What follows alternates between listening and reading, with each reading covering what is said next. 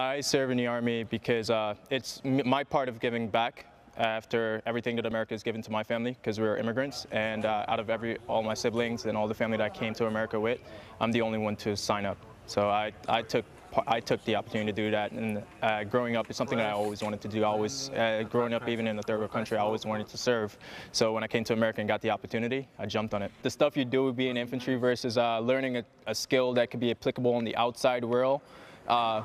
Uh, 15 Quebec was the one that I really looked at for a lot because I wanted to be in aviation growing up, and that's what I originally went to college for. So I was like, hey, have the opportunity, jump on it, and that's what I did. It, it can't be beat. It's, it's really a one family kind of world.